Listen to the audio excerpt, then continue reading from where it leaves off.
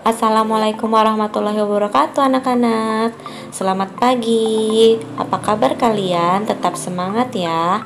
Sebelum belajar Marilah kita berdoa bersama-sama Jaga kesehatanmu. Jangan lupa cuci tangan sebelum memulai kegiatan. Jaga jarak dengan orang sekitarmu. Dan gunakan masker Kali ini kita akan belajar tema 1 Indahnya Kebersamaan. Di subtema 1 dengan judul Keragaman Budaya Bangsaku pada pembelajaran 2 Indonesia memang terdiri dari beragam macam budaya. Bisa kalian lihat di sini ada pawai budaya yang memperkenalkan berbagai macam budaya yang ada di Indonesia, termasuk tari-tarian. Selanjutnya, Pernahkah kalian melihat tarian seperti gambar di atas? Benar, ini adalah tari bungong jempa yang artinya yaitu bunga cempaka.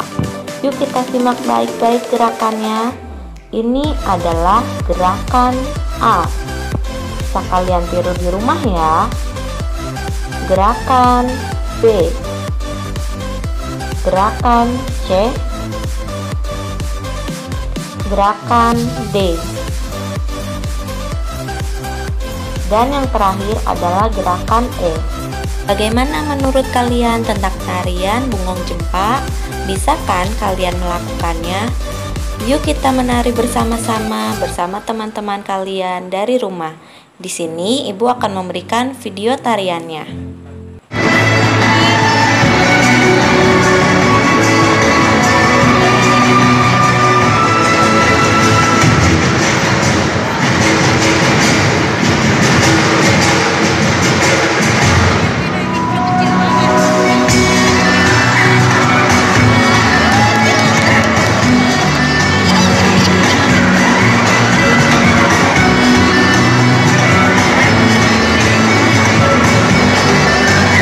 Selain memiliki keanekaragaman tarian yang berbeda-beda, Indonesia juga memiliki pakaian yang beraneka ragam.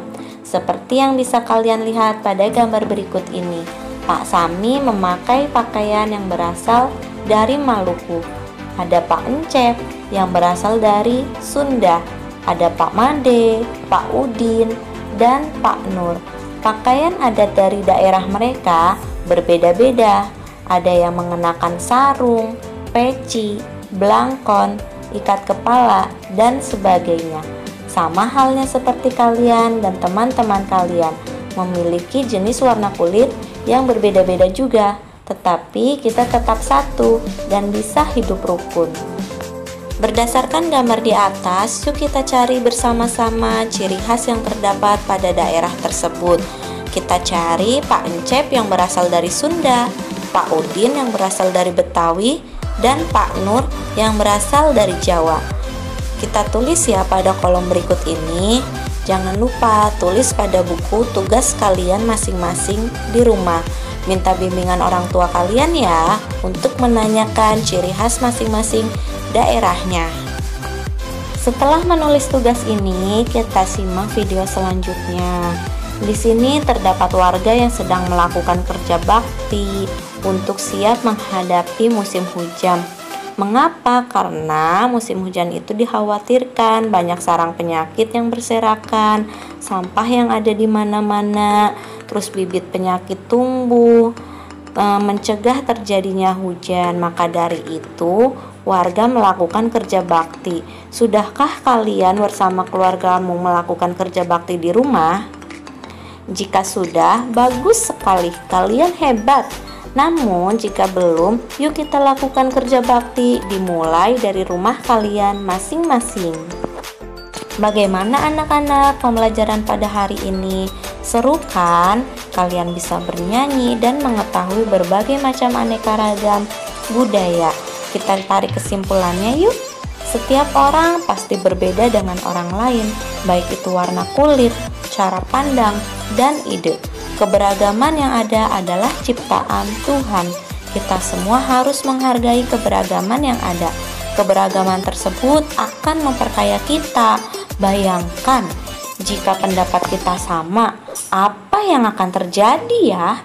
Hmm, anak-anak, sekian pembahasan pada hari ini. Semoga bermanfaat untuk kalian dan orang tuamu di rumah.